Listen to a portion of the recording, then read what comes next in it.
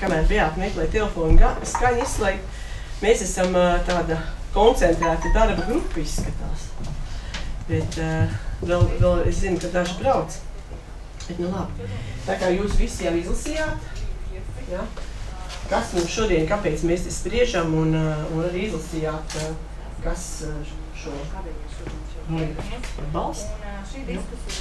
Tā kā to jūs visi tagad zinat, sākumu esam sākuši, un tad, lai mēs iesāktu un iešūpoties, un lai jūs tā kā paši saprastu, kā tad uh, mēs visi tajā sabiedrībā jūtamies, tāds maziņš, tāds jociņš tikai. Uh, Katram iedošu izlasīt.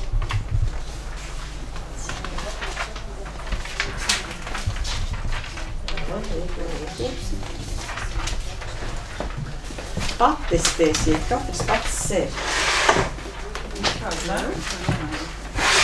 Tā, Ingūrīša arī būs visu. Kādas trīs krāsnes? Pa aizņemsimies viens no otra. Mēs tā draudzīgi.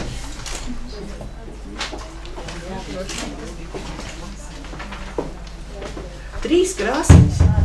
Katram trīs, protams. Tu pa, iemit, paskatījies zīmējumā. Nu, paskaties, izlasi. Tu nezini, tad tik krāsnes. Meitenes paņem. Šito lūdzu dažu. Es padalīšos.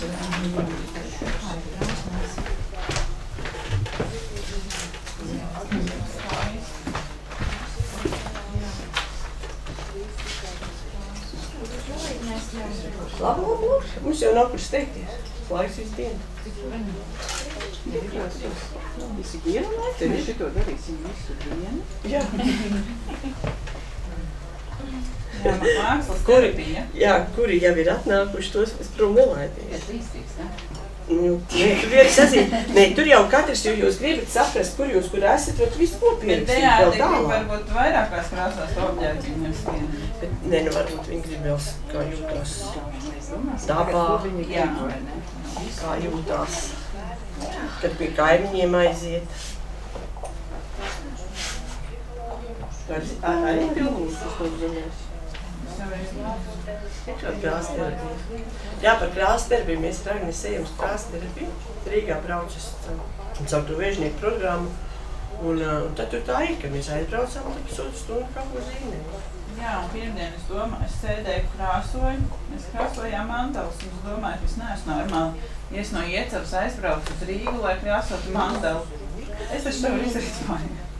Bet es agnesieties, ka mēs esam normāli. Jo kamēr mēs aizbraucam, mēs esam kopā, tad mēs tur divu pusotru stundu vienkārši katrs par sevi kaut ko padomājam. Un atkal mājā brauc un es mācu un meitas pasaka. Es varu pakonsultēties kādā kā var dažādi skatīties. Vēl krāsa, kur ir. Nu, tev vajag citas krāsas.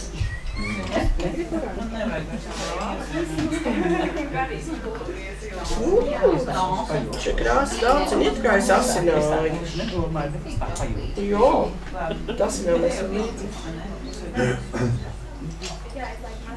Krāsas visiem, visiem. Puiši, jūs arī gribējāt paskatīties, pazīmēt tevi.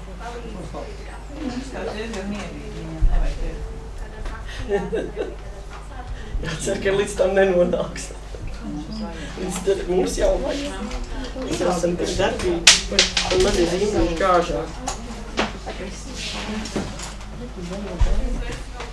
Maziņie daudz. Varam likt pie sienas, jā, katram pašam.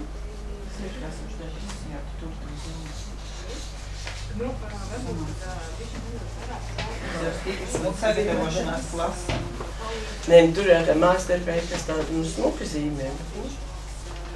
Zīmē vai krāsot? krāsu. Nē, tur ir, bija arī jāzīmē. Bija arī jāzīmē. Un viena tur tādu glāzi nozīmē, ka es tiešām bija jāzinās, lai parādītu, ko es esmu uztaisījis nervīgos vienkārši mums bija vienā dienā ģerboņi, ģerboņi jā, jākrāso, nu jāzīmē, jākrāso, man bija tik vienkārši ģerboņi, bet man dzīve jau ir sarežģīta, ko man vēl. Tu vari izteikt vienkāršās lietas. Jā, jā, jā, jā, zīmējām, zīmējām tā.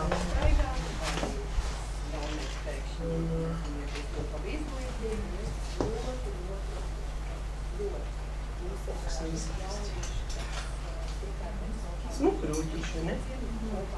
Mēs tādi sprigani visi būtu. Šī varētu uz to dzīvi. Īpaši tas, kurš grūž lejā citu. Nenāca savreiz. Varbūt savreiz vajag tā. Arī kā Lai esi optimists. Tu saki, ka viņš ķer. Es saku, ka viņš grūž.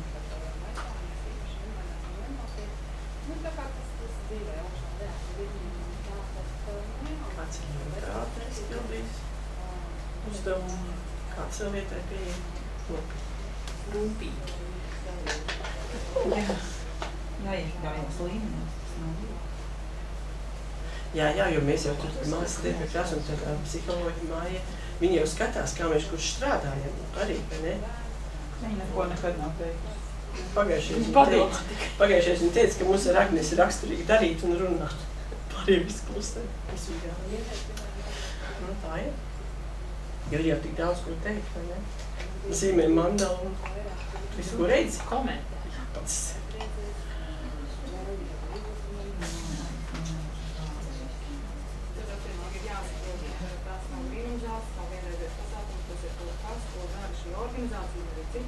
Māmas jau vairāk nezināts. Tās jau šo Nem bērns vēl noģi strādā. Viņa nopietni bērns ir pieeja. Viņa man liekas, ka kaut ko vairāk krāso. Nē, ska, lai skaisti. Es zinu, kā bērni zīmējums liek pie sienas, kā glāzes. Nu, jā,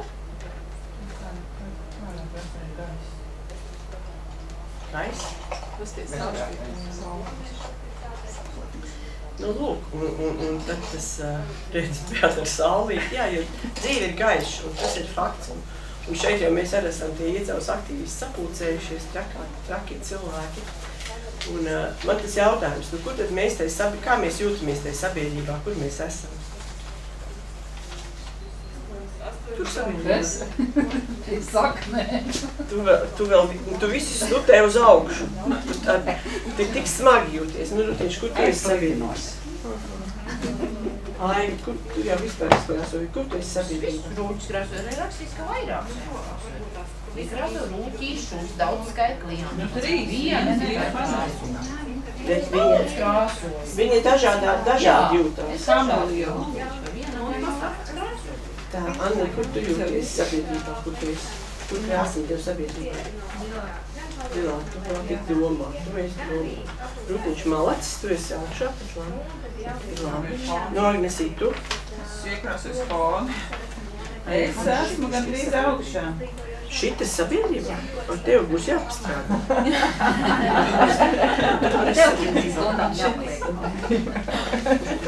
Man ir bija ar... Kas Zini, tev? šas, Kurš tu ir reāli brīvums. nu, jā, diemžēl baigi līdzīgs, kā es izrādījās. Nē, nē, ar tevi, nu, tev ir jau, Jā, man ir, jā.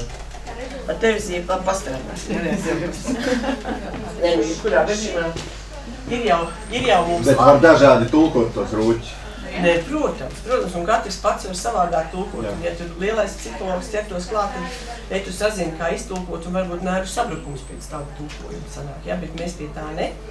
Mēs iesim uz pozitīvo, uz gaismu, uz gaismu, jo reku Beatei mūsu liepa vadītāja ir saule un gaisma, un mēs uz to iesim.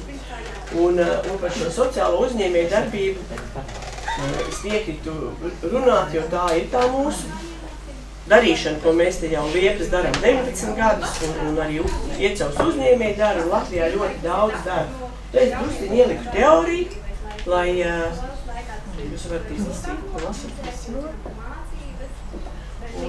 Divos piecos vārdos. Nu, par sociālo uzņēmēju darbības tālāk piemēros stāstīšu, kā tas ir Portugālē, tieši tas sociālo uzņēmēju darbība. Bet es ar, arī esmu ielikusi tādu par to, ka viņi tiek at, at, nu, popularizēti, ļoti popularizēti, jo, jo kā mēs zinām uzņēmēju darbību, pelnam naudu, pelnam naudu, pelnam naudu, visu bi- peļņu atkarībā no uzņēmēju darbības formas, paņem vai no vienas vai vairāk, bet tagad atpakaļ sabiedrībai par izmantotiem resursiem un par visu tā pārējo maz kas aiziet. Tad šī sociālā uzņēmēja darbība, kad, peļņu visu novirza sociāliem projektiem vai kādu cilvēku atbalstam un šīm lietām. Un, un mums Latvija, Latvija mēs esam īpaši. Mēs vispār Latvija esam super zemi. Oi, pakaļ. Jo mums ir tik sarežģīti, jo mums vienmēr samarieši, kas sākotnēji kā NVO, starptautiskais ienāca. Tagad viņi skaitās sociālā uzņēmēja darbība. Kaņi, kaņi kultūras centrs. Viņi skaitās uh, uh, kā uzņēmums, kuram ir klāta uh, biedrība, kas skaitās kā sociāla uzņēmēja darbība. Un, un, un, un tā kā teikt, ka tie NVOšņiki, sabiedriskā darba veicēji, ir valsts ieņēmuma dienestam dzīvi apgrozījuši un sabojājuši šausmīgi, jo viņi tā kā nespēja izsekot tam naudas plūsmai un, un kam kas aiziet un kāpēc. Nu, kādām tiesībām, vai ne? Nu, lūk, un Portugālē, es biju Portugālē, es zinu, Portugālē bija kā zemnieku pārstāvs, bet mūs tur vadīja pa saimniecībām. Mēs nokļāvām arī vienā ļoti lielā saimniecībā, kur ir fondu. Ļoti bagāta ģimene, viņiem tas reģions praktiski viss piederēja, bet viņiem nebija bērni. Un viņi nodibināja fondu, lai tas fonds tā kā rūpējās par visu to reģionu, kas ir viņa īpašums. Tie cilvēki tik nebija viņa īpašums, bet viņi tur arī visi strādāja. Un, un, un tie, tie īpašnieki jau sen ir miruši. Tas fonds turpina strādāt, un tur apakšā ir vīna darītā, un vispirms tas ir ekrauts, ko tu dari. Vispirms mums parādīja visu par to ģimeni, kā tā saimniecība kā veidojas, un viņiem mantojumā tur nāca, un tad viņi tā visu pārņēmuši. Un, uh, un tad arī prasīja, un kā tad ar peļņu, un, un uh, visu peļņu izlieto. Viņi strādā, lai būtu peļņa, un visu peļņu izlieto, gan, uh, gan renovē vecās mājas, gan atbalsta mākslu, gan atbalsta talantīgos bērnus. Bet tagad tā paskatās, te šādi tā ēka, un uh, tās izslēdz gaisu. Krāsas droši vien ir pilnīgi citas nekā. Un krāsa cita. Tas ir noēd manas dabīgās dzeltenīgās krāsas. Nu labi, daktoru es tās viņš labāk. Tur es biju apelsīnu koku, jo mums jau tas apelsīni ir. Nu, nu, tad jūtē, tur redz tos strādnieks, var sakot, viņiem visa tā saimniecība turpinās. Tas viņas, kas ir, īstenībā, kas ir reģionam ļoti svarīgi, kad nevis viss ir izdalīts, saraustīts, bet viņi turpina strādāt, tikai kas nebūtu mainījies. Tā pašā laikā gadu no gada atjauno, renovē un uh, apakšā neredz, tur ir tie korķi koki. Brauc garām tām korķu koku plantācijām, tie apakšā redz, viņiem šī tik tālu ir nomizliet mīzi. Bet nu tik tālu augstāk ne. Un to korķa mīzu viņi dzen nost, un pēc septiņi gadi viņi atkal dzen nost, un tad to korķi tirko. Domāju, tas koks septiņi gadi viņi gaida, kamēr atkal augs. Bet viņiem tie, tās korķu koku plantācijas tur ir nenormālas, tāpat kā olīvu plantācijas. Un, un šī jau bija, nu jā, bet labi. Te var redzēt, ka mētājās apelsīni, jā, dabi. Un tai pašā laikā viņiem visi lauki jālaist. Viņiem šausmīgi sausums. Kā, nu, nav, nav labuma bez sliktuma, jo. Nu, un par to Latvijas pieredzi arī, kad mēs kā nevaram arī runāt pilnvērtīgi tādi, tādi pilni simtprocentīgi sociālie uzņēmumi. Mums ir maz. Mums vairāk jārunā par sociālo atbildību, par, par uzņēmējiem un iedzīvotājiem, kuri piedalās dažādos labdarības pasākumos un, un uh, paši kaut ko organizē. Tas mums tā kā ir vairāk. Un arī mēs liekas, jau 18 gadus to darām. Un, būdams gan kā uzņēmējs, gan, gan kā ļaudis. Un tad es arī saliku dažus tādus par tiem mūsu sociālajiem uzņēmējiem. Uh, arī samariešu apvienības Andris Bērziņš, es ļoti viņu tā labi pazīstamies, kā projekta eksperti kopā strādājām. Sākums jau viņiem arī bija ļoti grūts, bet viņi sākumā bija kā nevalstiskā organizācija, starptautiskā. Un kā Rīgas domē, kamēr viņi, jo viņiem bija kā kāda ēkas īpašumā Rīgā. Kamēr viņi Rīgas domē pierādīja, ka viņi tomēr var strādāt, un kamēr viņiem Rīgas doma uzticēja sociālos pakalpojumus, kas ir tā kā viņu biznesi, tas bija ļoti grūti.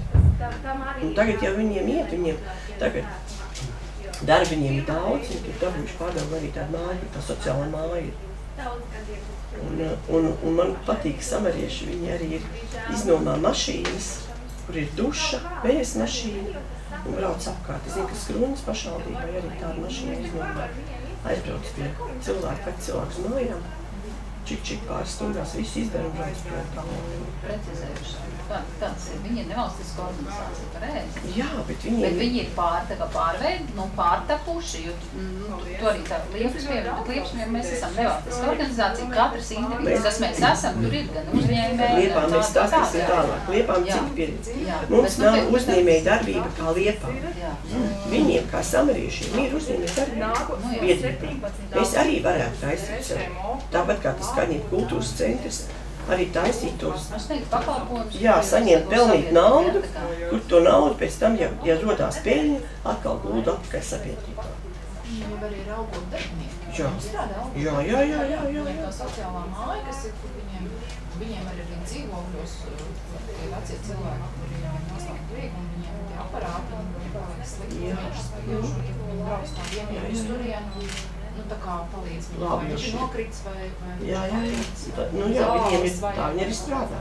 Un tāpēc arī ir tā Latvijā tā problēma, ka tā tu īsti nevar saprast, ne viņš uzņēmējs, ne viņš biedrība tā.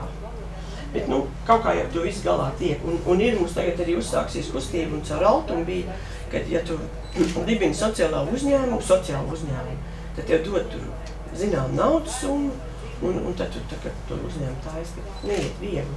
Šiem uzņēmumiem neiet viegli, jo jo apgrozījums ir tāds, kā ir, pirktspēja ir tāda, kāda ir.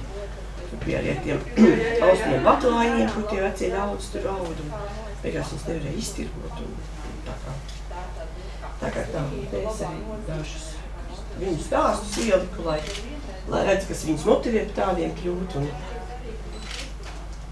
un tā. Žēlsirdības māja arī sākotnēji kā, kā palīdzība, bet uh, tikai palīdzot, jo tu nevari izdzīvot, jo vienkārši vajag, vajag no kā dzīvot. Nu jā, tā kā daudzveidība liela, dažādība vēl lielāka. Un, uh, nu jā, pa šiem trīsteņiem es arī redzēju televīzijā. Uh, nu, tad, arī viņi, viņi pieteicās uz uzņēmēju darbību uh, un sāka ražot tos riteņus, riteņus, riteņus, trīs riteņus tieši invalīdiem pārvietoties, lai, lai bērni invalīdi var pārvietoties pa pilsētu, lai arī viņi var braukt ar riteni. Tā ir tā doma. Un īstenībā jau visas šīs mm, sociālā uzņēmēja darbība formas un, un arī uzņēmumi un, un virzieni rodas no tā, ka kādam ir kāda vajadzība to darīt. Jo ja tas līderis, kas to dara, nu, pats nav ar sirdi iedecies, nekas jau nenotiek. Ja tu jūti, ka tu to gribi darīt, ka tev vajag tā darīt, tad arī, arī citi cilvēki pavalkās. Praktiski var veidot sociālo uzņēmumu, tad tas tā kā, ja es veidot sociālo uzņēmumu, tad es praktiski izveidot sev darba vietu vēl citiem un pēc tam varētu novirzīt. Jā, Man būtu jānovirzīs būs jā. Ja sociālais uzņēmums, tad to Es esmu vienkārši uzņēmums, viņš dara to pašu, tikai var novirzīt to vai nevirzīt. Jā, var novirzīt no bērnu, var novirzīt attīstībai un tad novirza cilvēku labklājībai. Bet tāpat tur noteikti attīstībai no. Visu mēs, mēs gudri zinām. Nu, lūk, un par, kā liepa, Beata teica par liepu pieredzi, liepu pieredzes ieliku tāpēc, ka mēs liepas organizējam dažādos pasākumus. Ļaujam pašas sev un arī citiem uzņēmējiem, kurus uzrunājam, kļūt par sociāli atbildīgiem, atbildīgiem un piedalīties sava novada labo pasākumu atbalstīšanā. Re? Un šis mūsu ozola acīm, ko puiši jūs varbūt redzējāt, ka braucāt pa vīras ielu, bija tāds stends. Viņi pēc tam Braucāt tā tik ļoti. Brauksiet atpakaļ, jūs redzēsiet šis stends, šo stendu. Tas ir projekta ietvaros, simtgadīgā ozolā izkrīt pērkons. Un mūsu dārzniecei starmītē radās ideja, ka to ozolu tā vienkārši grāvī atstāt nevar. Kaut kas ir jādara. Un tad, protams, aktīvās meitenes piekrita projektam. Mums ir vēl Andi Jašu, kas ir vēl aktīvāk par visiem citiem. Un mēs ne tikai uztaisījām tādu stendu, soliņu un, un arī miskas. Bija arī ozoliņš, ko nolauz.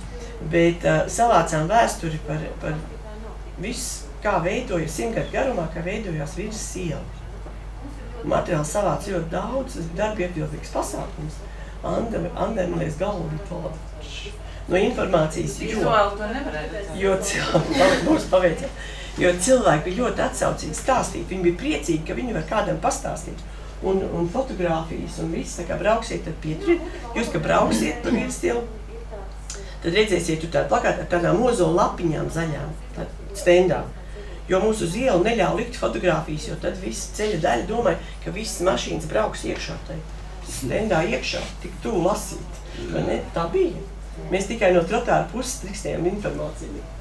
Un lūk, un par sociālo uzņēmēju darbību. Un tajā reizē bija tā. Ah, Es nezinu, var palikt, ka tik neredzu. Nu labi, pašvaldība mūs atbalstīja un pašas lietas, bet šeit mums ir uzņēmēji un arī mm, komunālā saimniecība, kas tur mums ir slīpēja, zāģēja un taisīja. Eh, Bet šeit ir uzņēmumi, zemnieku saimniecība medīgas un siltumsūkļi, kas mums deva 200 eiro, un, un tad mēs viņus likām tos viņus logos uz plakāta. Tie, kas mazāk deva naudu, tie tik paldies teicām un, un nedevām naudu. Nedevām, nelikām uz plakāta, bet nu, tā kā tos uzņēmējus izlikām.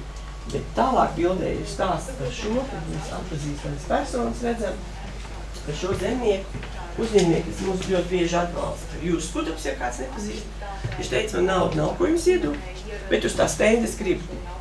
Nu, viņš mums iedeva nokarinās atraidnītas podos, un mēs, mēs Agnes Līgi, viņas tirgojām.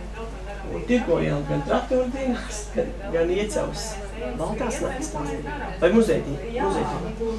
Un, jā, mēs iztirgojām pa 5 eiro podu, mēs iztirgojām visus tos podus, un, un jūra logo ir uz, uz lapas, jo mēs savācām viņus uz 200 eiro. Tā kā arī tā var tikt pie naudas un viss pārējā. Bet, jā, bet bija jauki. Toreiz tās puķis tirgot bija forši, ne? Tikko darīt viņš visiem. Nu jā, un, un arī par visvalžu grāmatu, ko mēs uh, izdevām. Nu arī tas stāsts, ka lielākie sponsori tiek ielikt grāmatā. Bet visa tā kopīgā darīšana, jo, jo visvalžu grāmatas tapšanā iesa, iesaistījās atbalstīt tik daudz cilvēku. Mums tik daudz iecavnieki atbalstīja un piedalījās, un ne tikai iecavnieki, kad uh, nu, bija vērts. Bija vērts. tad arī atkal uzaktīsiet. Un arī, protams, par šiem labības pasākumiem, ko mēs daudz ko darām. Šis ir sens stāsts, kad Robertam Ričardam Gāsņiem vācām naudu, iecavs svētkos un, un tirgojām visu ko. Un, un dažs labs deva naudu, lai pakšķos. Bet, nu, atkal tā tos cilvēks iekustina palīdzēt otram cilvēkam un, un caur to jau tā sirsnība un, un, un tā draudzīgums mūs saglabājās. Ja mēs katrs dzīvot atsevišķi un viens par vienu, tad jau kādā brīdī būtu, kad viens otru nepazīst. Tā kā šorīt redzu sveši puiši, uzreiz klāt, laikam pie manis. Nu, sveši, jo visus, visi zinām. Ciematā. Nu, lūk, mēs arī tā traka ideja man bija un meitenes arī pavilkās. Jo mums ir tā, ka kādai kaut kas ienāk prātā, daram, nu labi, palīdzēsim. Bet man jau vairākus gadus tagad visu laiku stāv prātā Agnes teikta, kad es tur atkal kaut kādām idejām, ko Agnes teica, mamma, nevienam nav pienākums tev palīdzēt. Un es saprotu, es varu interesēt, tad, ja pavalkās ir labi. Nu, lūk, un šīs ir meitenes tās mūsu slavenās Gvatemalā. Mums ir vistas Gvatemalā. Dejuši savu laiku. Mums jāvāc atkal. Jābrauc ciemos, skatīties. Jā, tur var braukt ciemos par savu naudu. Ir, ir, Linda, ir, ir, ir Linda Jākapsone, kura bija Amerikā praksē, Spāņu valodas praksēs. Nu, Cilvēki, kas daudz mācās un piedalās starptautiskajos uh, projektos, visur, kur aizbraukt. Viņa bija Gvatemalā un bija Gvatemalā kalnos ciemiņā, viņa saka, es iemīlējos pavietā. Un, un šajā sakarā, tur jau, protams, arī citu, citu valstu studenti, un, un viņi tur ir vairāk šai, šai sakarā ir skoliņa, kur ir tā kā bērndārziņš, kur bērns gatavo uz skolu. Redziet, kāda klase, salīdzinot ar mūsu klasi, vai ne? Un, Bija uh, tā, ka uh, Linda arī palīdzēja to skolu kaut kādā Jā, jā, jā, viņi tā kā tā skolas krustmāte. Un labākais tas, ka viņi aizbrauc, viņi reizi gadā aizbrauc, skolā tek jumts. Viņai tagad tas jumts jāslūp, un viņi saka, ko es klāpšu uz jumtu. Brauc lejā uz ielai ar mašīnu, smagā mašīnu, Ar tādu viņi arī brauc tās vistas, ir tāda kuzavs tāds, ka jāturās, lai tik tu pats neizkrīt no tā kuzava, jo tur viss ir vecs. Un tā viņa lejā, te pilsētņā sameklē kādus studentus, un, un tie studenti brauc viņai palīgā darīt. Nu, viņi tā kooperējās un, un darās, un par tām vistām viņa teica, ka tā vista ir tāds tā kā burkāns, tos bērnus to skuldu. De tās vistas, tos bērnus sūta uz to bērndārzu, lai dabūtu to vistu. Un tā viņi mācās tie bērndārsiem, un tad viņi iet tālāk skolā. Un viņiem skola vispār tik līdz 5. klasē, jo viņi, viņiem nav laika mācīties, viņiem visas tradīcijas ar kafijas, pupiņu vākšanu ir tik ļoti, ka viņiem nav laika mācīties. Viņiem tā dzīve viss notiek visādi savādāk. Mums viss dzīve bērniem notiek skolā, viņiem viss notiek tradīcijās. Un, Bet agrāk jau arī, tāpēc mums ir trīs mēnešu vasaras brīvlaiks, tāpēc, ka laukos bija jāstrādā. Šobrīd jau visu laiku domā, kā vasaru arī iespundēt skolā. Es atceros, tas bija pats labākais laiks. Nu, lūk, un tad Linda man teica, ka viņa vāks tā, nu, tā, ka viņa vāc ir biedrības seiba, arī internetā var atrast no atbalsts Gvatemalas bērniem. Un es saku, es arī vākšu. Un es savācu, un tā kā bija tas, ka uh, man dod arī sveši cilvēki tos piecus lacus ņem, bet pašai tā doma kvīti pretīm nedod. Nu, neko darīt, kaut kā to man bija jātiek galā. Jā, lati, tie bija pieci lati. Un, uh, un, un tad Linda, kad atbrauc atpakaļ, viņa, es biju sarakstījusi sarakstu, kurš man devis to naudu, saraksts man bija.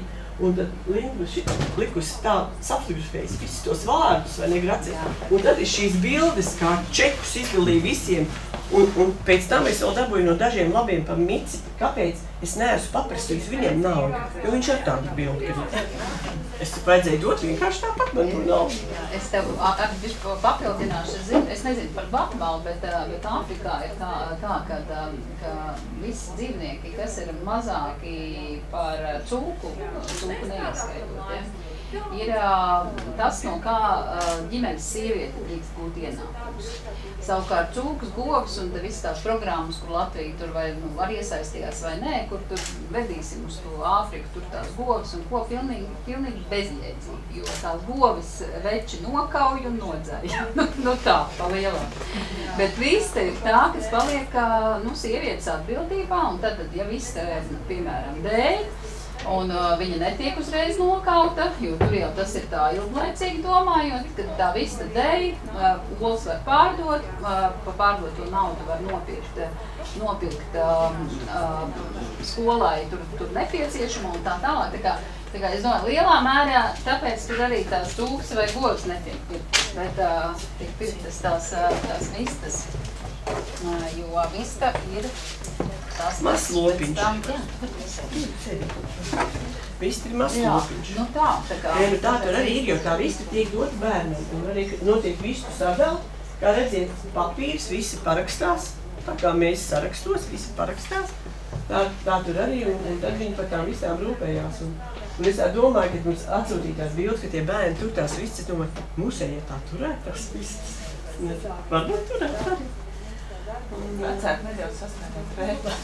Varbūt, jā. Nu, jā, un, un mēs daudz, daudz tādus pasākumus esam tāpat kā Dievdārziņš, kur daudz iesaistījās un ziedoja naudu. Un pašvaldība pēc tam iesaistījās, un mums ir arī draugi uzņēmējas, uzņēmēja klubs Vimsi, kur Igauni pie Igaunijas, un viņas kā uzņēmējas, viņas ir tīri uzņēmējas. Mums ir Pie, pie Tallinas. pie Tālīnas Vīmsi. Viņas ir tīri uzņēmējs. Tur mēs esam dažāds. Mēs esam uzņēmējs, un darbi, darba ņēmējs, darba devējs un, un mājasēmnīcas. Mēs tāds visās, bet viņas tur tīri uzņēmējs. Un tad viņas kā uzņēmējs arī uh, organizē tādu konkursu.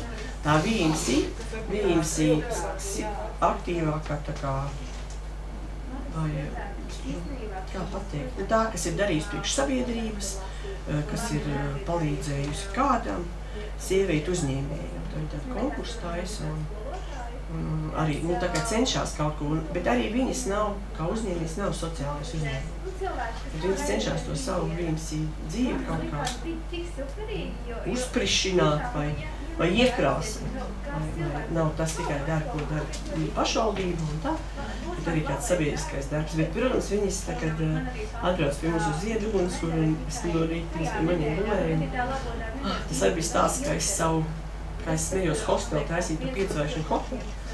Nu, kur viņām palikt? Tā, nu, viņš pibucēja tādu salika saļos ziedus un pat ar sevi apmierināti. Nu, man ir piedzvaigžņu hotels, jau vajag iezīt ziedus salikt.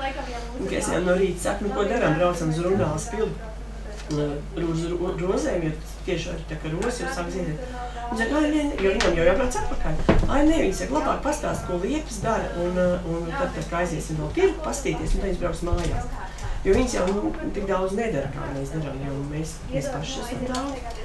Un kādreiz kāda ideja ienāk prātā, un tad visām jāpalīdz uh, realizēt, un tad tā dzīve mums tā ļoti krāsai, kā mēs smējamies, ka nav laika dzīvot, visu laiku kaut kas jādara. Jā, bet uh, tā ir tā dzīve, ka visu laiku kaut kas jādara un garlaicīgi nav. Un te mēs arī esam aizbraukuši. Tas bija pirmā vasarā, kad mēs aizbraucām vesels autobus uh, pie viņām ciemos un, un spā centrā harmonija. Gulējām uz grīdas uz matricīšiem, uz uz beņķīšiem. Un es beidzot gulēju masāžas kabinetā. Mēs labprāt dzirdēsim tūkstoši pirmo. Un tā kā mūs tur uzņēma ļoti, nelika uz viesnīcu iet, kad mēs varējām. Un otrā vasarā mēs aizbraucām, tad mēs gājām uz tādu veco rūpnīcas kvartālu, kur bija visādi, visādi ēdīni. Visādi, varēja nopirkt visādi ēdīnus, tāds kaut kāds hausiņš tur bija. mājās, bet tur viss, viss tur bija Tas bija tādā. tāds ēšanas un dzēršanas festivāls, jo tur nekā cita nebija. Tur bija bardaks tur ļoti daudz, nu, vienkārši visādi veida kafejnīcas. Jā, jā, bet tāds laikam tādi zaļi, zaļie un, un, un, Arī, jā. tādi, vai ne? Nu, dažādi, dažādi, jā. Praktiski tur bija ļoti daudz cilvēku, bet tas pasākums, nu, tur tu vari ieiet un tikai ēst un dzert, jo nekā cita jau nu, nav. Tas tāds ir tā. Bet nu nekas. Un tad mūs veid uz svēto zolu, un te svēto zolam nav seši stundu. Un, tad mums ir tāds rituāli, rituāli cienasts un, un tā. Jo mēs tagad esam uzzinājuši, ka svē- svēto zols ir no sešiem mozoliem, kurus tā kā viņš savu kopā un tad aizauga vecīši. Jā, Vai ne deviņiem? ne sešiem. Sešiem, sešiem. Nu, lūk, un tad līdz finālām, kad es no- notikusi līdz tādai nominācijai, pavasarī man pieteica uz konkursu par sociālo atbildību. Es saņēmu diplomu un, dažādas bildes, bet ir jau patīkami. Jā, bet es atkal uzlieku pienākumus. Saņēmu diplomu, bet kaut kas jāatstrādā. Jātaisa simtdienas. Jā, tur arī un, un, un ir jau labi, ka visur, kur tu piedalies, tad draugi līdzi ir nevis viens pats. Arī Aivars te fonā kaut kur ir, bet nu, bildē neielēc, jo īstenībā tajā reizē, lai tiktu bildē, bija jābūt diezgan tādam ātram. cilvēki bija daudz un viss tā mainījās, un, un prezidents vēl bija slims, tikko no slimnīcas iznācis, un tad viss tā notika. Nu, lūk, un uh, man stāsta tāds gals, ja, ka būsim radoši un būsim uzņēmīgi. Un uh, tagad sākās tas diskuti, diskusijas sadaļa, jo jums visiem ir arī ko teikt. Un, nu, es nezinu, varbūt mums rodās atkal kāda traka ideja. Tiec labāk, un mēs atkal varam. Bet, jebkurā gadījumā, kamēr kāds neaiziet, ja, Jā, kamēr kāds neaiziet 12. novembris, visiem jābūt šeit tālāk. Kad 12. novembrī būs šeit atkal divas, divas radošās darbnīcas, visi lūdzu pierakstieties mīļi gaidīt, arī jaunieši. Pirmajā daļā no 12 līdz 2 mēs mācīsimies burjatu, šamaņu dēļu un elpošanu. Un otrā daļā no 12 līdz 4 Protams, ka būs interesanti, jo mēs neko nezinām. Es arī nezinu, kāds ir. Un uh, otrā daļā mēs gatavosim dāvanu Ziemassvētkiem. Domājam, svētdienu, pensionāru minulītiem. Sākumā kāds palīdzēs izdomāt, ko mēs to darīsim, ko mēs to darīsim. Varbūt izsaiņosim savus pagrabu burciņus. Es nezinu, jāizdomā, bet pats galvenais no 5 līdz 8 puiši nāks tām pagrabu burciņām, jā? Un uh, no 5 līdz 8 būs koncerts. Bausējā zālē. Un koncertā mums dziedās un dejos burjati, krievi, baltvāci, poļi, ukraini, baltkrievi. Dažādu, dažādu tautību šīs organizācijas, kur ir, kur ir Latvijā dzīvojuši, visi runā latviski, Latvijā strādā, bet viņi kop to savu etnisko kultūru, savas, savas tradīcijas. Un uh, mēs arī mums būs latviskās koklas, mūzikas skola ir apsolījusi, tā kā latvieši tur būs. Jo es kā kultūras vēstniece tagad esmu tādā, tikus tādā, tādā kustībā, kur es reizēm esmu minoritāte. Latviskā minoritāte. Un, uh, un, jā, un viņiem ir arī daudz tērpa projektu naudām iegādāt, viņi ir ļoti krāsaini un, un radoši. Bet, nu jā, bet viņi tās organizācijas tieši tāds strādā uz to savu, savu etniskās kultūras saglabāšanu, attīstīšanu. Tas, ka labo darbu darot arī pašam labāk. Jā, viņi strādās savādāk citu. jā. Tā kā tā. Tā kā tā. Nu, tad, tad, varbūt kāds vēl paņem kafiju, tēju. Nē, man ir jautājums. Drīkst. Drīkst, man ir jautājums. Pēc man jautājums tādēļ, visiem ir kafija un viens man ir neklausīsies. Un tad kādi jēgas par runājuši? Agata, kaut kas tev jau. Kāpēc man būtu jāizvēlas veidot sociālo uzņēmumu?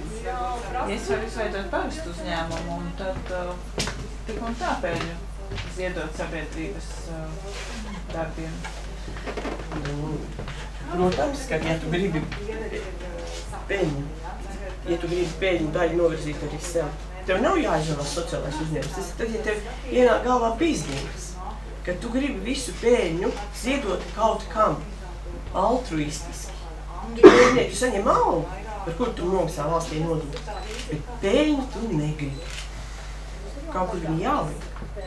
Bonus ir, ja to re reģistrē kā sociālo? Nē, Latvijā uz šo brīdi? Latvijā uz šo brīdi bija uh, deva kaut kāds tūkstošs, lai uzsāktu uzņēmēju darbību. Caur Sociālo, jā? Jā, Jā. jā. Vairs nav? Nokavējās. Jā, paskatās. nezinu. Nebīdējies. Bet, nu, arī, tu, jebkurā gadījumā, ja tev Eiropa dod naudu kaut kam, tad tu zini, ka tās ir visas atskaites vēl, vēl, vēl vargākas nekā viss cits. Nu, vienīgi es tā iet, nu, kā, es jau pat padomāju.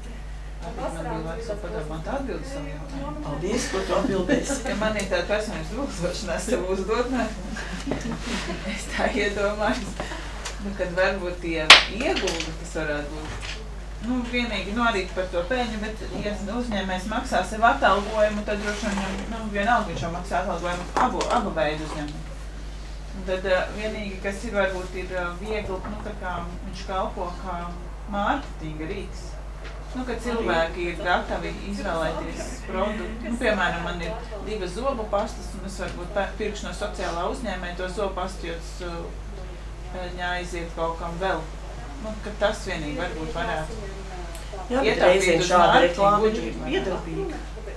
Bet vai pie mums es tā ne, ne, nevaru nevar sajust vēl to, to mūsu sabiedrības gatavību tādai, tādai lietai, jo laiku jau arī mēs kā, kā sieviešu organizācija daudz domājam par, par to un arī par to runājam, kad nu, atbalst, nu, atbalstīt uzņēmēju sievieti, ja? jo tas, nu, tas, ja, ja sieviete ir uzņēmēja, tas jau no viņas ir prasīgs nu, vairāk droši nekā no vīrieša, jo viņai nu, visbiežāk ir ģimene, vēl bērni un tās rūpes, bet ja jau viņa vēl ir arī dara kaut ko uzņēmē darbībā, tas nozīmē, ka, ka viņa vēl papildus ir vēl tajā, nu, ieguldījusi, ja, to, to savu enerģiju. Un, nu, un sie- sievietes, nu, ir tā, tā at- atbalstīt sievietes kā, kā, nu, tur līdzībās arī atbalst vietējo savējo, ja, uzņēmēju, kas arī ir, ir, ir, ir par to pašu stāsts, vai ne?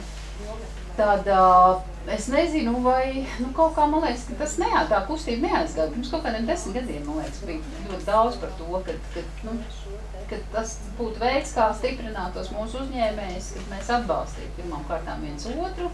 Nu, jo īpaši, teiksim, mēs sievietes, sievietes, jā, kā uzņēmējs.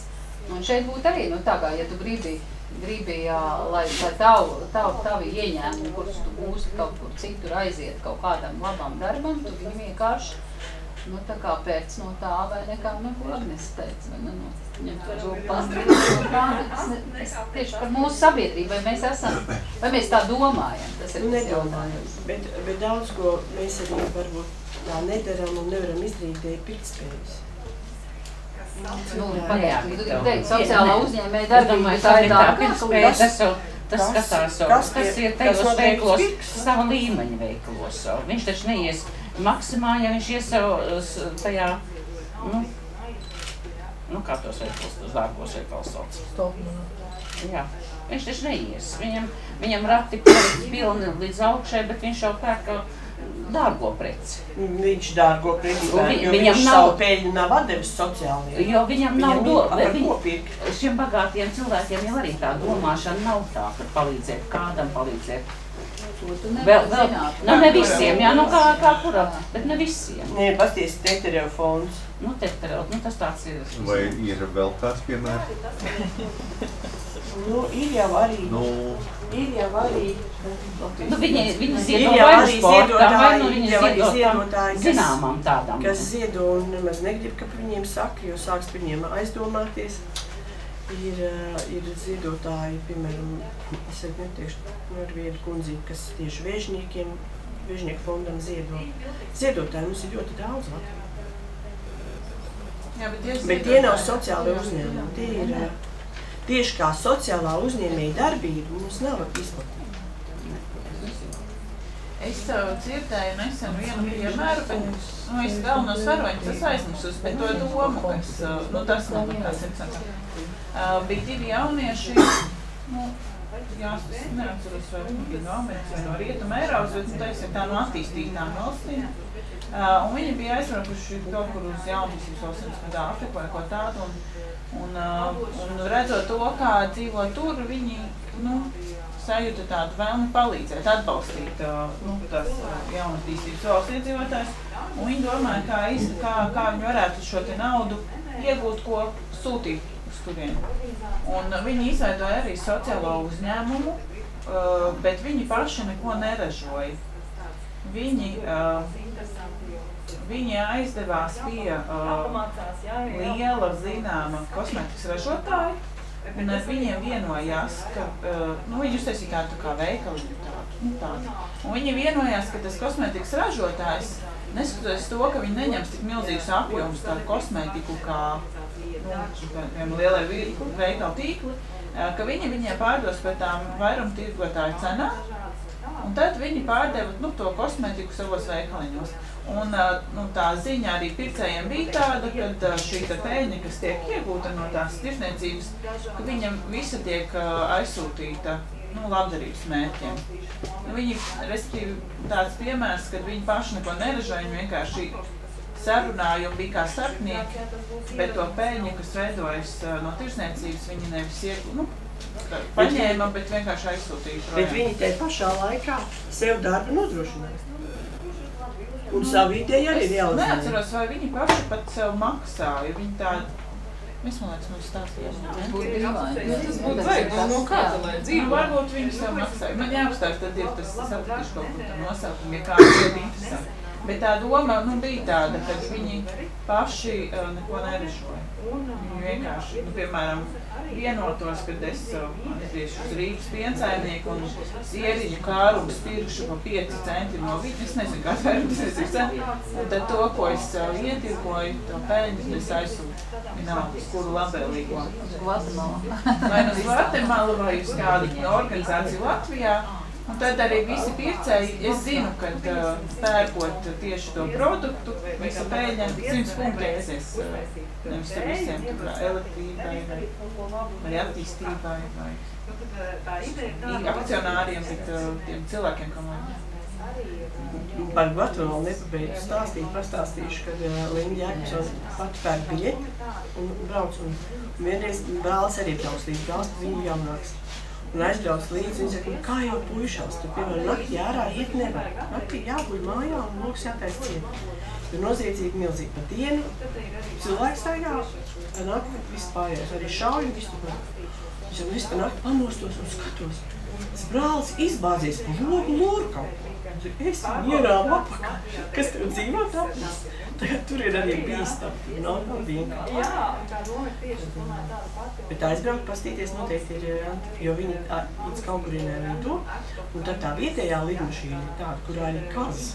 Kāzas, viss, viss tur iekšā tā lidmašīna. Tā apmēram, zina, tā kā, kā kājiņa ieskrīt cauri. Ielai aizlido, tad no ielas ir tāda smago mašīna, kas ar jūkāra. Tāds augšā kalnā uz ciematu. Un tā ciematā tiešām ir tikai. Un, bet, protams, kafijas pupiens, kad ir jālas kafijas pupiens, tad iet lasīt visi. Bet nu, tās jau viņiem nepieciešams. Kādiem piedalīt, visiem strādāt. Tā kā mēs dzīvojam ļoti Paciņām vietā. reizēm var redzēt, jā. Jā, tad ir un, un, un kafijas paciņām arī šajā grāmatā es neko gudrāk nevarēju izdomāt. Es izgriezu no savas kafijas paciņas.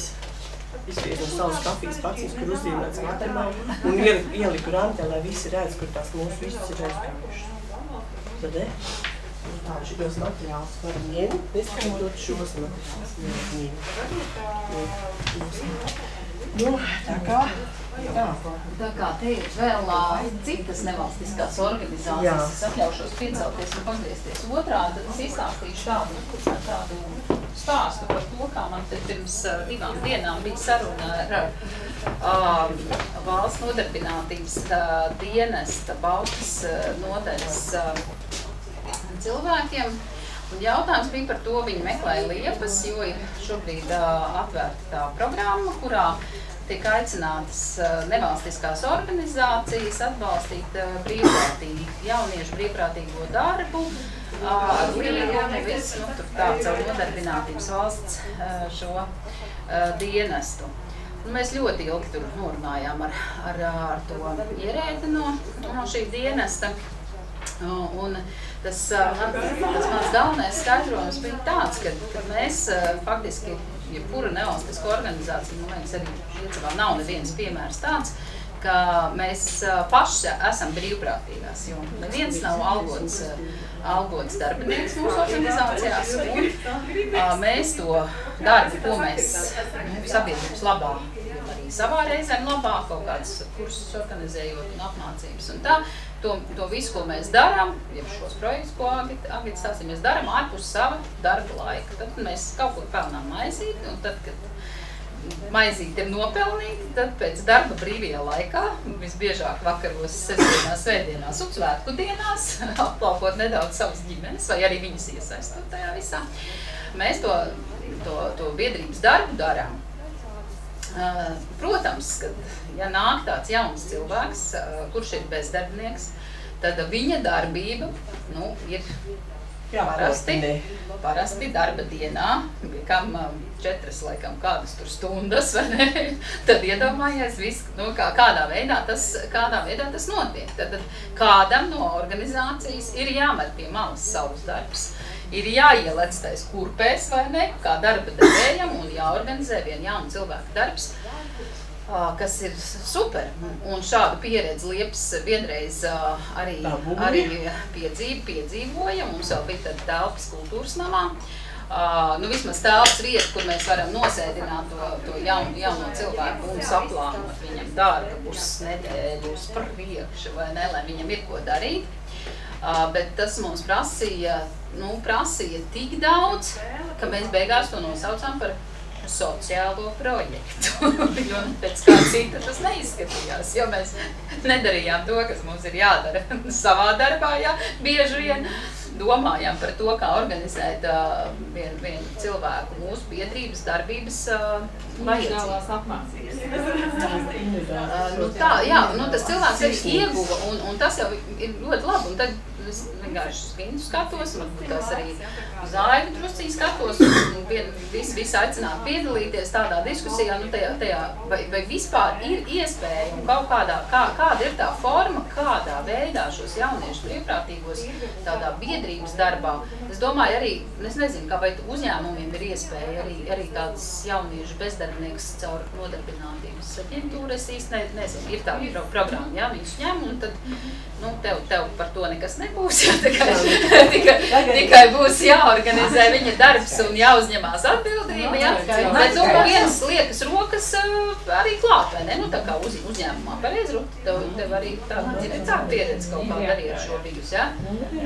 Bet tā, nu, kā, kā, kā, kā vispār to, jo es teicu, piedodiet, nē, mēs nevar būt rādāms grib. Nu, tā es arī teicu, ja vēl, ne, ja vēl nezvanīja, tad zvanīs. Ja. Vismaz viņi varbūt ir uz vietas, jo man strādājot Rīgā noorganizēt vienu jaunu cilvēku darbu, uh, iecevā ir diezgan, uh, diezgan nereāli. vai Ne? Es nezinu, ko. Jā, Vispār, ko vispār ar tiem jauniešiem darīt? Ko darīt? Jā, bet redz tā. Četri jaunieši mums ir. Darbības specifika nu, mums kā radamam arī ir ļoti tāda savādāka. Mums telpu nav. Mēs tāpat tās darba laikā, nu labi, esam iecavā, bet dara katrs savu darbu.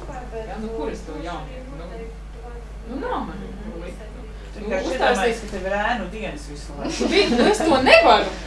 Jo, jo tu strādā Man ir- mājas, vai ne? Es Nu, tā. strādāju mājā, plus man ir mazs bērns, kam jau jāskraida pakaļ, lai izvedātu visur, kur, kur es vēl lielu bērnu paņemšu. Tad man ir grūti, nu, kur es savā dzīvoklī ielikšu, kur man viesistaba ir gan darbnīca, gan radām birojas, gan vakarā vienkārši ģimenes telpa, ja? Kur es vēl tur jaunieti svešo paņemšu, ja, kas šobrīd ir, ir bezdarbnieks. Nu, ne visi jaunieši bezdarbnieki varbūt ir nu, tādi no bīstamākiem. Ja? Bet ne viņi visi arī nu, var gadīties, ka tev neatnāk perfektais jaunietis. Nu, kam tu vari uzticēties? Nu jā, Nē, nu mums tās, mums, mums tā, tās biroja telpas šobrīd pašu norganizētas internātā ir, nu viena telpa, vai ne? Bet uh, es, es, es arī ne, neredzu to iespēju. Bet, piemēram, nu, piemēram jums, nu, LZF, tādai lielai organizācijai, arī ar kādu algotu tomēr darbinieku. Kā, kā, kā jūs redzat, kāpēc jums vēl nav brīvprātīgais? Tāpēc, ka nebija. Mēs strādājām projektā pierakstījāmies. Mēs bijām uz NVO Rīgā. Iesniedzām iesniegumu. Mēs arī tādu gribējām paņemt, bet mums jūs bija tādi, ka neatnāca. Tas, kas Jā. pieteicās, tas nobijās un neatnāca. Un kā, jo- kā, kāda jūsu motivācija bija ņemt? Vienkārši, ka jums tie ir labi noderēti, kas Jā. kopē, skraida pa lielo Internetā, Jā. zemnieku mājaslapu. Jā, šo māju. Mēs arī visi gribējām par zināmām kvalitātēm. Jā. Mēs bijām prasīgs, varbūt tāpēc. Jā, mēs tā kā drusku paprasījām, lai nav gluži tā kā no... Jo arī šis, Šis- šo, šo visu mēs ar Aivu bijām visi filozofējuši visu. Ko tu saki, arī par darbu organizēšanu visu. Jā, tas nav, tas ir Nu, bet principā, ja, ja, ja, ja, ja, ja viņi dod, tad jūs ņēmat. Jā, mēs ņēmām, jā. Bet jo nebija es teicu, ka es tādu vajag daudz piemēru, ne, nu, tā īsti, īsti nezinu. Vienīgais, kas man tā kā pēc tā laika nepieteicās, tad likās, ka mums laikam tās prasības ir par daudz, daudz, jo mēs runājām un runājām, stāstījām tai meitenei, kas pieņem to iesniegumu, viņa tikai plikšķināja acis un saprata, ka mums tās prasības ir tik augstas, ka, ka viņai nav tāda kandidāta, ko mums iedot, jo, jo zvanu no viņa puses nebija, viens puisis bija agitē, kas bija sarunāts tā kā privāti, bet, bet, bet tas... Šobrīd tas stāsts ir tāds, kāpēc viņi meklē tieši iecavā šos, šos NVO, ka, ka ir viena iecavniece. Nu, respektīvi, viņi ir gan ienācēji no Rīgas, it kā iecavā, bet, bet jauniete bez darba, kurai vajadzīga šī, šī prakses vieta. Un, es nezinu, vai, vai tur ir iespēja arī kaut kur, nezinu, citur, vai viņam tikai ne NVO tas šobrīd tas tur projekts. Bet, ja kurā gadījumā jāstāsta, vai vajadzīga, nu, ja ceļa nav. Rīgas, ceļus. Kas to ceļu seks, jo viņiem jau ir kaut kāda summa konkrēti, ko dotas maksā valsts caur NVO, to stipendiju. Viņš jā, nu, dienā strādā tās četras Jā, stundas. nu, Viņš nedrīkst pārstrādāt. Jā. Jā. četras punkts mājās. Nu, es tik trīs tam A, pārstāvu. Kā, kā, kā piemēram, uzņēmējiem, nu, bet viņš taču tev arī brauc uz tavu lauku sēdu, viņam taču uz tevi jātiek, bet tu Tas bija nodrošini. savādāk. Tas, tas nebija manos laukus. Nē, nu, zinu, ka hokeistiem bija. Jā, Bija jau piemērs, jā, jā, kā, kā piemērs bija hokeistiem, bet viņš bija, eh, ja nemaldos, tieši ziemas mēnešiem ar domu tādu sniegs sniegu ej šķūrē. Ej dežūrē, nu tā kā laukums, ja? Tev atslēga un tu taisi vaļā un ej šķūrē, ja? Bet, nu, a, ja sniega nav, a, ja ziemas nav, a, ko tu viņam dosi? Ko viņš var darīt ar tiem hokeistiem? Līdasas. Bet jau jā. vajag taču ir atkarāt uz kājas. Šņoras mazgāt Jā. un ievērt. Un ievērst. Tas brīvprātīgajiem nemaksā, jo man bija atbildi no Nē, maksā. Nē, maksā maksā. Brīvprātīgi. Jo es Ieskaita biedrībai. Jā, laikam tā. Ieskaita biedrībai, Jā, tad jā, jūs jā. atbildat Jā, jā, jā. nodarbinātības aģentūrai. Ja kā mums ir vajadzīgs vēl grāmatvedis, ja, kurš nodrošina visus šos Kurš pārskaitus. pēc tam vēl raksta atskaites. Jā. Un atskaites nav tur maza lapiņa. jo tur tā- baigs, rupi bija sarežģīti. Bet bija tas pienākums, zvana uz Es pabeigšu. Es, eh, rakstīju nodarbinātības aģentūrām, jo mums vajadzēja jauniešu. Ir vietas, ir ko darīt, ir ka tas viņiem strādā pakaļ, bet bija atbilde, eh, ka jūs varat dabūt, bet jums viņiem jāmaksā alga, ir vismaz minimāli. Jā, bija To arī nevar- tāda programma. Nē, tas ir arī tad, kad palaiž viņu to programmu. Mēs arī iepriekš bijām jau sākām interesēties. Viņi teica, vēl programma nav palaista. Tur jāskatās NVO, mājas, vai NVO mājaslapā, kad viņi palaiž to programmu, kad ir atvērta viņa, tad var pieteikties. Un tad, ja viņi dod tos jautājumus, tad viņi maksā. Bet, ka viņi ir aizslēgti, tad, tur, protams, tad paprastu naudu maksā pašam. Jo, piemēram, nākošais versijas vaļā programma Jā. senioriem 50 plus, un tad maksās, teikšu godīgi, par to, ko maksās tam senioram, man liekas, par to maksās uzņēmums.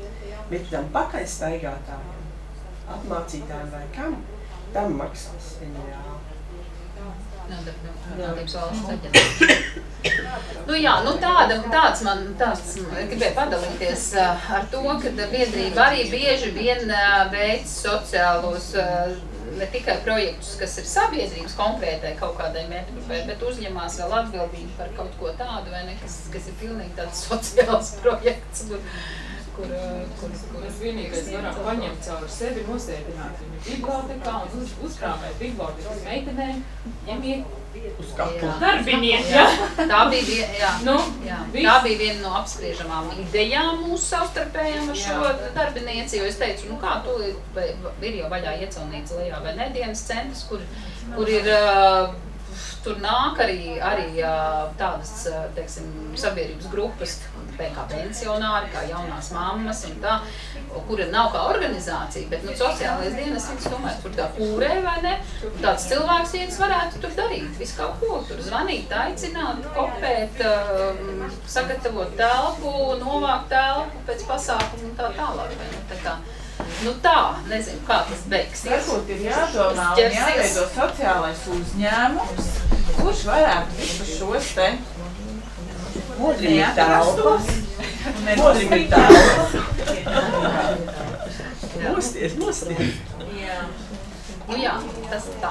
Man liekas, ka kafiju vajag paņemt un tad Jā. turpināt. Jā, turpināt, turpināt di diskutēt. Un man ir jautājums, Agri, konkrēti tagad kaut kādus, nu, tu tā tur izstāstīji, tā, tā, tā, vispār par lietu, vai tu kā, kā Agita, kā, kā uzņēmēja, masiere un, un kosmētiķe,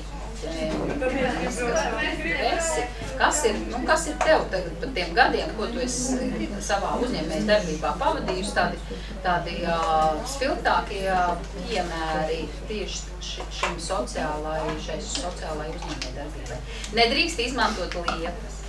Nu, es gribu teikt tā, ka uh, vispirms es nodibināju uzņēmumu, vispirms es nodibināju uzņēmumu, jā, aizlīdši, un pēc tam es nodibināju liepas, lai varētu veikt šos sociālos darbus. Skaidrs.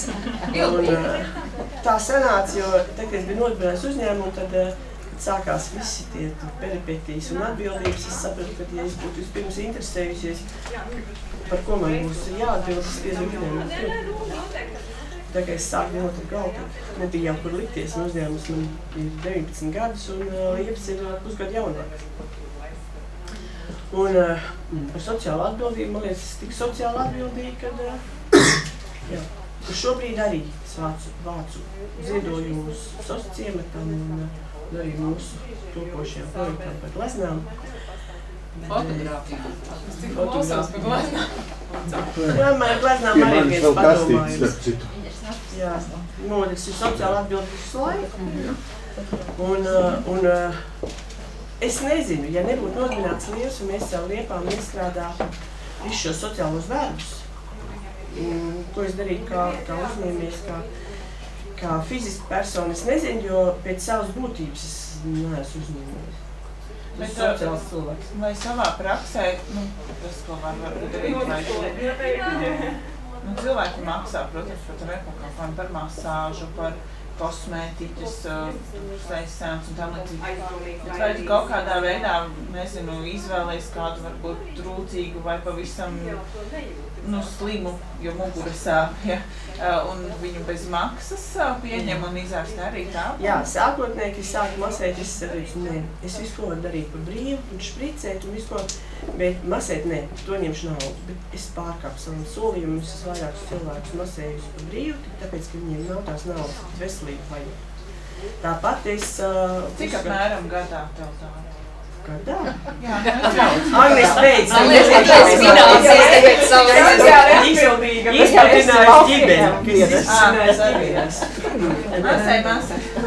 Un, uh, un, uh, un vēl jau īstenībā es esmu sociāli atbildīga pie katra savu klientu, pie katrā masāžas reizē. Jo viņš jau man maksā par masāžu, bet par psihoterapiju jau viņš nemaksā. To es veicu visu laiku. Šitais bija labs. Bet tā Es ir. dar sajūtos kā sociālais uzņēmējs. Nu, bet tā jau ir. Mēs vienkārši varbūt neatpazīstam to visu. Un, un, un mēs kā sociālie uzņēmēji no atkal caur, ar liepām, caur liepām, jo viss caur liepām, mēs esam palīdzējuši divām ģimenēm, eh, divām mamām ar daudz bērniem. Un tad, kad es skatos uz tām mamām, tos bērnus redz, nu, nu forši, nu, ka mēs to darījām. Ir vērts, ir vērts darīt, jo mēs jau visi šeit patīk dzīvot. un Mēs to visu taisam, taisam tikai labāk. Un, un, un tur jau ir tā, ka nu, varbūt, varbūt Rīgā ir savādāk, ka tur nav viss pazīstama apkārt. Mums jau ir tas, ka tu kā uzņēmies ej no vienas vietas uz otru vietu. Un, un satiec kādu vecu cilvēku, kurš grib teviem parunāt. Un tev viņu jārunā. Un es runāju ar viņu. Bet mans laiks iet, tā ir sociālā uzņēmējdarbība. Jūs no sava biznesa laika atceļ un, un, un runā. Tas jau ir briesmīgi, jau par visu, ja gribētu saņemt naudu un tik par naudu visu darīt. Pirmais, kā mēs būtu pokaini cilvēki. Iet, pa, ne pa kreisi. Un, un, un viss tās lietas. Tā kā, tā kā es domāju, ka īstenībā jau mēs visi un katrs esam sociāli atbildīgi. Tā varbūt nav tā uzņēmēja darba, bet sociāli atbildīgi mēs esam visi. Jo mēs pasties, ko iecevā arī visi, ko darām. Nu, tik mēs te nedarām. Viss aktivitātes un viss. Un tāpat ir visur Latvijā, kur braucot, es braucu arī kā projekta eksperts un, un braucot uz pasākumiem. Visi ņemās. Jo katrs te savā vietā dzīvo un gribētu te savā dzīvē ir forša. Un Ziemassvētku tagad nāk visu mēs domāsim par, par vieniem pensionāriem un. Un, un, protams, varbūt vajadzētu par visiem, jo šodien ir vecu jaušu diena, mušana sēta. Senioru diena. Ah, Ieskaitīja Jums ir svētki! Viņš ir vecāks par manīm. Bet baigi, viņš par tā nejūtās. Es jau arī nejūtos. Viņš balss aizsmukus no slimības, bet vispār es jūtos jaunu. Bet šodien tur tā ir ierakstīts senioru. Es apsveicu Aivaru, viņš apsveic mani. Senioru diena. Jūtu jums līdzi. Laimīgais. Jā, Nē, nu tagad tā kā tā. Un, protams, arī mums tāpat ir jau ieprojektēts visādi pasākumi un viss notiks. Pastāstām par šo jaunu. Jā. Te varbūt kāds nav dzirdējis. Par jauno arī ļoti lielo lieku sociālo atbildību.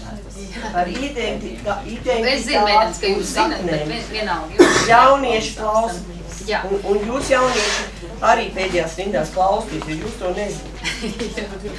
Vienu vārdu sakot, nemaz nepateiksim. Bet iecavā pirms, tagad jau nezinu, diviem, varbūt vairāk gadiem, viena, viens mājas tika vecs, vecs mājas tika nopirktas. Un tā ģimene, kas tur tais mājās iegāja, skatoties to māju un pētot, kas, tur- kas tur darāms, uzkāpot sēdījumos, atrada tādu kasti lielu, ar stikla negatīviem, fotonegatīviem. Vairāk nekā 300 fotonegatīvu, pie kam atrast tika tikai tā, tādā veidā, ka uh, Kaspars uh, bet, bet viņš, kurš uh, ir pats amatnieks un, un, un, un meistars, meistars, un tādēļ arī pats skatījās, un tas ir mājas arī īpašnieks tagadējais, skatījās, nu kā tur tās ijas, tur tā viss un krakš, un kaut kas pas, tā kā uzkāp gan drīz uz stikla. Paceļ augšā, paceļ, pa, paskatās pret gaismu, pret lodziņu, un redz fotogrāfijā skats uz iecavu no, no Bauskas puses, ar veco uh, dzirnavu dīķi un baznīcu fonā, un vienmēr sakot, unikāla, uh, unikāla fotografija. Nu, un tad viņš tur tā sāk tīrīt un zem skaidām apakšā, tad pirms, uh, pirms otrā pasaules kara tā, tā kaste tur bija norakta, to bija izdarījis tāds Jānis Rozentāls, ne tas, kurš glāsmojas, bet tas, kurš mūsējais iecaunieks, un te par viņu var arī iz, iz, izlasīt šo to no viņa, par viņa dzīves gājumu. Bet aiz 20. un 30. Uh, gados viņš uh, dzīvoja tās, tajās mājās, Rožmalās, Rožmalēs, un, un, un bez tā, ka viņš bija amatnieks un, un, un, un pats darīja ko citu, viņam patika fotografēt. Un tas bija viņa, pilnīgi viņa hobijs. Un viņš fotografē visu, ko mēs varam arī tagad redzēt, jau digitalizētajās fotografijās. Tad, tad liepas, jāsaka, pavilkās uz šo stāstu un e, izlēma, ka Latvijas simtsgadē mēs gribam izstādi par iecauniekiem, par to mūsu vēsturi. Un ne tikai. Nu, vienmēr sakot, šobrīd tās, tās tie fotostikliņi negatīvi ir digitalizēti. Šeit ir apskatāmas fotogrāfijas, kuros, kurās pretī raugās cilvēki, no kuriem droši vien daudzi daudz neizdzīvoja pēc, pēc, pēc tam, kad tika Sibīrijā izsūtīti, bet, bet tā ir mūsu vēsture, mūsu iecava, mūsu cilvēki. Un ļoti daudzos gadījumos mēs pat nezinām, kas viņi ir. Tas ir šobrīd tas ir pats interesantākais. Jo tā mūsu ideja ir tāda, ka tā arī tādi nu, tā kā portreti, ja sadzīves ainas un visādi, um, visādi mm, procesi, kuri cauri gadam un dzīvēm notieks, jo tur arī no kāzām un no bērēm un visa kā cita tādas, tā, tā, tādas fotogrāfijas un, un arī diezgan kuriozas un visādas, un to var, var, var noteikti paš, pašķirstīgi uzmest aci. Uh, nu, lūk, un, un, un arī šajā mēs iesaistījām, nu tā kā, tā kā iesaistījām un aicinājām uzņēmējus atbalstīt un Un daži uzņēmēji arī mums ir, mums ir ziedojuši, lai mēs varētu tajā procesā virzīties uz to, uz to izstādes pusi. Bet paralēli mums ir ideja, un šobrīd vēl nav, vēl nav, vēl nav tā kā tik tālu tikts, ka šīs fotogrāfijas digitalizētās tiks ievietotas arī Iecavs, Iecavs novadu portālā Iecava LV un aicināt iedzīvotāji iesaistīties, atpazīt, cilvēkus, kas varbūt ir kaut kādā veidā saistīti vēl ar ģimenēm, varbūt, un, un, un ir jau pirmie, jāsaka, pirmie augļi, jo, jo, piemēram, mūsu iepriekšējā dārzniece Daina, viņa, viņa atnāca uz mūsu iepriekšējo pasākumu ar fotografiju, kur ir šajā, nu, kura ir, ir, ir taisījis, taisījis Jānis Rozentāls. Viņa teica, nu, tur bija viņas mamma virsū, Saka, jā, nu, precīzi, nu tad respektīvi nevis tikai Videks fotogrāfs, kurš, kurš iecavā bija slavens un viņam bija, bija, bija viņa, viņa darbnīca, bet arī vienkārši Jānis Rozentāls. Bet Jānis vai Jānis? Jānis, Jānis, jā. Jānis, Jānis, Jā, Jānis, jā. tāpēc man arī, ka es lasīju kaut kur neatceros, vai avīzē vai Jā, Jānis, viņš, Man arī jā, radās. Man Nu, lūk, ar Bet, Painter. bet, glaznotājs Jānis Rozentāls 16. gadā tā kā mir 1916. 20. sāk fotografēt. Vai es to zinu? Es tur Kur, uzskatu. kurā Jā, gadā? te vēl tādu neizstāstīju. Vienmēr, vienmēr sakot, iesaistam tos, kas Kur ir vēl. rožmals? Braucot laukā no, no Iecavas, Bauskas virziens, labā pusē, Pirmās mājas. pirmās mājas. Jā, tur tā ne, netālu iekšā. beitiņš. Uzreizēs kukurūzu lauku kādu. Jā. Tādas viņas, tur tā neizskatās. Nu, bildēs viņas arī tur redzams vairākās, kur tā kā, kā fotografētas. un tā. Tā kā ietām mājām. Bet bildes ir tā kā ģimenes arhīva bilde vai? Nē, nu, šo, nu, principā, principā tur ir tik raibi, tur pat ir bauskā uh, vīri militārā, nu, tā kā mm, armijas apģērbā, ja, un, un, un, un skati kaut kādi, un, un cilvēki tur nav tā kā vien, ir, ir sejas, kuras atkārtojas, bet, uh, bet uh, vairums ir tā vienkārši, ka, o, Labi, tu labi izskaties. Man patīk fotografēt. Čik. Ā, tev arī tā, čik, ne? Un ka viņš ir vien- vien- vienkārši to darījis, kā, kad tas vi- viņam bija tāds, tāds rītīgs vaļasprieks, jā. Jā, bet tas, kad ir viņš mums saglabājis. Nu, Viņš jā. saglabājušies bēgļos labi noslēpt. Jā, tur vesels stāsts klāt, vai ne? Nu tā, tā kā tas ir mūsu šī gada, var teikt, bez tā, ka svinam 15 gadu oficiālo jubileju, bez tā šis ir mūsu lielākais šī gada projekts pašu. Un tā izstāde droši, ka būs uz nākošo gadu, jo nav jau kur mums tā īsti izstādīties, vai ne, ja kultūras nams remontējās un tad, kad būs gatavs, tad būs arī izstāde. Ne? Protams, uz valsts svētkiem būšot gatavs, vai man vajag uztaisīt izstādi. Ā, Nē, nē, nu tagad, tagad mēs tā kā droši vien, ka ne, nepabūsim, jo mums jau gribās vēl tos stāstus savākt, un tad tā izstādē arī, arī tādus kaut, kaut ko, kaut ko arī tādu no, no cilvēkiem. Jā. Nu tā, kamēr vārās nākošā porcija kafija un tēja, mums saka, ir jārunā tomēr par to sociālo uzņēmēju. Vēl līgāji, neko nav teikuši sotāji. Kā, kāds jums ir viedoklis? Liks, man nav kāds viedoklis. Sejas darba internāta skolā un strādāju viss. Vai ne? Runājot ar bērniem. runāt. Nu, tas, tā ir tava sociāla atbildība. vai Ne? Nē, nu, protams, protams, protams, nevar visiem arī likt būt sociāli atbildīgiem, jo tas ir jau no katra paša tās iekšējās sajūtas. Un, uh, ir bez maz vai sociāli atbildīgs. Ir ļoti. Jā. Jau ar to pašu prizmu. Sociāli atbildība, internets skola. Rutiņa taisīs sociālu uzņēmē, uzņēmēju darbību. Es biju tausmiņu visu laiku, biju sociāli atbildīga. Un pret saviem suņiem un kaķiem es Teorētiski jau izklausās labi, bet tas dzīves līmenis. Un... Bet tur jau ir, eh, tur jau vajag to sociālo uzņēmumu, lai taisītu pirmkārt, kas par, to- par to pakalpojumu maksā, lai tu tam cilvēkam var, kas to pakalpojumu sniedz, lai tu vari, nu tā tāpat uzņēmuma darbība vien ir. Un. Respektīvi, tur vēl tā problēma, ka, ka tev ir jāpaņem vairāk nekā tas maksā. Jā, Jā, lai tā ir pēļņa. lai tev ir Jā. novirzīt. Jā, ir kur novirzīt, jo, Jā, un jo- tas ir tas smagākais. man liekas, ka katrs uzņēmējs tagad ir, var teikt, sociāli atbildīgs un viņam ir tāds sociāli uzņēm, sociāli atbildīgi uzņēmēji. Sociāla atbildība pret savu ģimeni vai spēju vispār nodrošināt sev un saviem bērniem. Jā, jo laukos jau izdzīvot un baigās pēļņas būt un, paskatoties šos redzījumus, pa cik es tagad bišķī pastījos vairāk man laika bija televizoru un bojāru, es viņu burtiski, ja viņš man te pretī būtu, es no tad vai ar tiem burķiem vai ar tiem tomātiem, ka viņš pareizināja e, to 300 eiro, pa, kur var, e, nu, pēļņa būt pa zemenēm, pareizināja ar 366 dienām, un viņam iznāca miljons, un tātad zemnieki nopelna miljonu, nu, miljonu gadā pa vienu tirdzniecības vietu par zemenēm. Nu, kas viņš, un, un tādu viņš pasniedz televīzijā. Es jau tas, ka- arī. Jā, jā, jā. Viņam sanāca miljons. Paskatī vēlreiz. Nu, viņš vienam jautāja, cik nu var nopelnīt pa zemenēm tirgojoties. Viņš teica, nu, labā, labā dienā var nopelnīt 300 eiro. Nopelnīt, ja?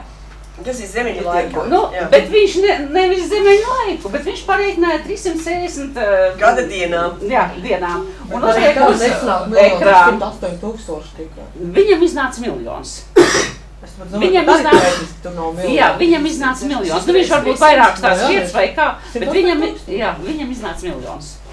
Nu, Mēs apcerējāmies jau. Nu, Jā, jā. Viņam Nu, liela nav jau ko knapināties. Un tāpat tās, ka viņš pie mūsu kaut kādās izmas aizsūta kaut kādas zēnas, jau, kas, lai parāda viņam tā siltumnīca, nu tas arī vairs nav riktīgi. Laukos jau nevar rādīt tev svešam, kas nā, nāk tā siltumnīca. Tad brauc riktīgi un prasa jautāt. Jā, jā, nu tā jā. Jābūt Kā, kā, nu, uzmanīgam. taču jābūt uzmanīgam. Nu, laukos, ja pats viens dzīvo vai kā, nu kā tas izrādīšu, tagad visu savu šišu draus, kur man medus stāv, kur man šis stāv. Un rītā vairs varbūt nebūs nekas Sunītim būs iedota kāda desa un visu. Bet tā taču, tā jau nav tā. Bet jebkurā gadījumā jādzīvo ir tālāk, vai ne? Jādzīvo ir. Un jādara arī kaut kas ir. lai ir interesantāk dzīvot un lai ir ies, ie, iemesls satikties. Jo, ja jau tikai darbs un mājas, darbs un mājas, tad nemaz kaimiņus vairs neatpazīst. Ciemata iedzīvotājs neatpazīst. Mums jau ciemats ir liels, mums jau paveicīt. Mēs varam daudzus ieraudzīt. Jau atkal, nu labi, blīkšu blāzi, būs Ziemassvētku klāt, atkal visādas darīšanas. Jo pagājuši gadu mēs Liepas trīs, trīs vientie pensionāriem nesām cienastu. Arī bija interesanti, kā, kā, kā mūs sagaidīja un kā mēs pārsteidzām vecās kundzes. Un, un gan jau kaut ko šobrīd atkal izdomāsim. Un kartiņš taču. Kārtiņas pats par sevi. Mums jāsāk organizēt, kas viņu zīmēs. Jo mums jau tagad ir tā, tā jau tāds grafiks izveidojies, vai vidusskolas zīmē, vai citas skolas zīmē. Tad viņi gads, četras gads. Parunājiet te ar ir skola Šogad ir, nu, mans bērns ir starāk par jauno sagatavošanas klases pasniedzēju. Pēters, nezinu, kā viņam uzvārds, bet viņi ir starāk. Lai bērni uzzīmē. Jā, jā, jā. Varbūt tiešām skolas bērni uzsīt. Bērnu uzzīmēs. Smuki, smuki, tur būs smuki. Nē, nu mēs jau. Tas, kas simts vajag vismaz. uh, Bet ja viņi ir trīs klases, Kā tad? Tas šuks nav. katrā, katrā ir, viņi sanāca kaut kādi 38 bērni. Kas bērnam trīs kartiņas? Kāpēc? Un, un mēs jau, mums jau katru gadu tās kartiņas ir savādākas, jo vajadzētu paprasīt, ā, jā, parunāšu Jāni, ka Judītē, jo tie, kas ā, visi, kas katru gadu ir saņēmuši, tā jau ir kolekcija, jo katru gadu kartiņa savādāk, vai zīmējuši. Taisīšu gaidu, gaidu, mēs nevaram atlaist vēsturrakstnieks. Tas mums jādara, un tas arī tā ir mūsu sociāla atbildība, ka mēs iepriecinām, iepriecinām cilvēkus, kurus mēs faktiski nepazīstam. Jāsaka, nu, mēs jau visi darām daudz ko. Un, uh, un, un vienīgais, varbūt man tā ir, kā, nu, tā kā es aicināju par šo pasākumu, teicu, nu, ko tad, es jau neko nedaru. Bet tad, kad es noskaitīju, ko visu, ko viņi dara ar savu sociālo tādu atbildību, viņa pat bija apjukusi. Jo, nu, neatpazīst, ka tu jau, jo mēs jau dien dienā darām labus darbus. Un, un tev jau nav jābūt uzņēmējiem, lai darītu labus darbus. Vienīgais tas tā uzņēmēja darbība, tas atkal tāds, nu, tāds ko var tā viļā, ko var tā malt un Ko var, ko, ko var arī atskaitīties un var redzēt. Jā. Te Facebookā tirzniecības rūpniecības kameras eh, viens no pēdējiem postiem bija, kur Mārtiņš Sirmais stāstīja par uzņēmēju darbību. Saka, Es gribu vienkārši pārīt ēst, bet man ir tas, tas, tas, tas, tas.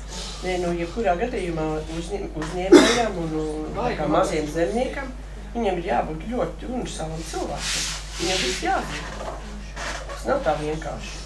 Kur katram amatam ir pretī cilvēks. Ja tu esi mazais uzņēmējs, tev viss ir jādara vienam pašam. Es no šā esmu jau piekušus. Nu, ko, ko? Paziņojums. Un šīs Latvijas gudrības tautai. modes ir piekušas. Pa, paņēmis pauzi. Ir, ir jau tā, vai ne, kad no visiem šiem, šīm atbildībām tad liekas jau piekūst jau. Vienam vajag to, otram vajag šito, trešam vēl kaut ko. Es neesmu nekad bijis atbildīgs. Nemāku komentēt. Kā, kā tu to domāji? Nu, tā kā teicu, tā arī domāju. Nu, mums no malas izstījās savādāk. Nu, labi, Nu. kļūdījāmies. nē, nē, tā kā, nu, tā kā, protams, mums varbūt arī te iecavā ir vieglāk, jo mēs viens otru zinām, palīdzam un, un atpazīstam, ka ir kāda problēma, kur vajag palīdzēt. Lielpilsētā Rīgā varbūt ir savādāk. Un tur arī lielie uzņēmumi, tā kā vakar bija tajā senioru pasākumā 50 plus, un, protams, tur, tur runāja Latvijas telekoms, Latvijas energo, Latvijas mēži un vēl banka. Banka tiešām neatceros, kā sauc, jo tur ir klients. Klienta pirmā iemaksa, lai atvērtu kontu, ir 150 tūkstoši. Ir tāda banka. Un- Vajadzēja pierakstīt to banku starp citu. Vai ne? Pateikt mums, mēs varbūt daļa no mums varētu Ir gatavi? Jā. Jā, labi, es tev es sameklēšu. Un, uh, un tad viņi arī runāja, nu, viņi runāja arī par to, to savu sociālo atbildību. Tā, protams, tur ir citi apgriezieni, un, uh, un tāpēc mēs selektīvi maksājam tik, cik maksā. telefonu jūs maksā tik, cik Jā, maksā. bet uh, saprot, lai maksā tik, tiktu cik maksā. uh, pie tiem 150 tūkstošiem, tur jau ir, uh, ir jautājums, uh, cik tas cilvēks ir bijis sociāli atbildīgs jau ta- tajā, kā, kā viņš ir dabūjis. Ticis pie tā. Jā, ja viņš būtu sociāli atbildīgs, viņš, uh, viņam tāda peļņa nebūtu nemaz. Nu, nebūtu ko ieguldīt. Jā. Jā. Ei, tur tā O, banka, tur ir tā tā banka stāstīja par, banka stāstīja par to, eh, cik eh, gados veci ir tie banku darbinieki. Vai jauni, vai veci. Veci nav, jauni arī nav, jo veciem vairs neusticās tie klienti. Eh, Jauniem vēl neusticās, tā kā tas zelta vidusceļš 45, 50, 50 plus bišķi ir tie labākie, vērtīgākie viņu darbinieki. Bet DNB bankā ir apmēram 50% eh, gada mainība. Ja? Tur atkal, kados, kad arī ļoti jauni, jo tiem var maksāt mazākas algas. Jā, Viņi Apgrozājās, aiziet tālāk. citur. Bet ne, viņi runāja par to arī bija vakar tā, diskusija par to, ka eh, tie 50 plus viņi tomēr ir tādi stabilāki un nemaina tās darba vietas, cik ļoti jaunie vairāk maina. Nu. Viņam nepatīk, viņam nemaksā pietiekami, viņš ir- ir drosmīgs aiziet. Jā, bet, nu, jā, bet uz, atkal būt pašam uzņēmējam un, un pašam atbildēt par visu no A līdz Z. Vēl visa tā no, no, Jā. nodalīt to. sociālo atbildību, vai ne? Un vēl ziedoties visiem citiem, zinot, ka tev kontroli nāk pār kontroli virsū. Arī. Arī tā arī mums ir. Un tā kā, kā, kā te tagad mums ir, vai kāds ar sociālo uzņēmumu taisīs vai netaisīs? Man liekas, ka vajag būtiski jāmaina domāšana jau vispār pašos pamatos. Vispirms pasties savu kaimiņu. Nu, teiksim, augšā tāpat Zviedrija. Jā. Man sociāla atbildība es arī tomātus dalos. Nu, tajā pašā laikā mums tā domāšana, tas kā kaut kādās Āfrikas valstīs, jā. Cilvēks, viņš brokastis neēdīs mājās, viņš aiziet pie kaimiņa, kuram ir pankūku ceptu. Un viņi dod tam kaimiņam to naudu. Viņš neļaus tam kaimiņam nomirt pat. Pie mums mēs nepērkam garšīgos tomātus tirgū, kad ir tomāti. Maksimāli plasmas pērk. Vēl joprojām visu vasaru. Nu, ja cilvēks sāk domāt par to, ka nu, viņš nav žēl tam kaimiņam nopelnīt. Ļaut kaimiņam nopelnīt. Nu, Nu, tur ir otrs gals, es gribētu teikt. Mēs par saviem trijiem izaudzētajiem tomātiem gribam uzreiz pusgada peļņu dabūt. nu, nav. Ir. Nē, Tas pārspīlēs. cena pilnīgi tā pati vasarā. Ko tirgu tomāti, ko maksimāli tomāti. Jā, Maksimāli 10 centu lētāk. jā. Cik Gurķi mums maksimāli. zemenes maksā? Tik cik viņas 3 vienmēr eiro maksā. kilogramā, tik cik pēdējos gados. Nu, jā. Nu, jā, 3 eiro kaut kur. Es ka kāpēc? pavasarī pa pirmajām. Nu. Nu, bet kāpēc polis var iz, izaudzēt lētāk? Tā, Tā- tā- klimats. Tā pati, nē, Nē. Nē, Nē, tā pati tante, Lauksaimnieki kas, nu, es uh, braucot, uh, neatceros, kur tepat pa Latviju, piestāju uh, pie cilvēka, kas ceļa malā uh, tirgo zemenes. Ja?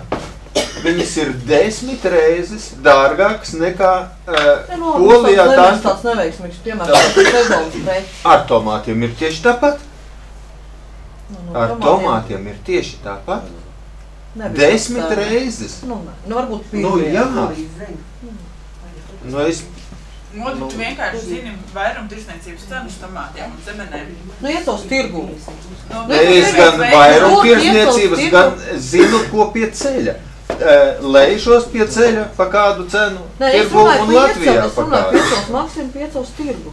Piecos. Nē, es- Gurķi vienādā Jā, tad nevajag tam, uh, tam audzētājam prasīt to milzīgo cenu. Bet vienādas cenas bija.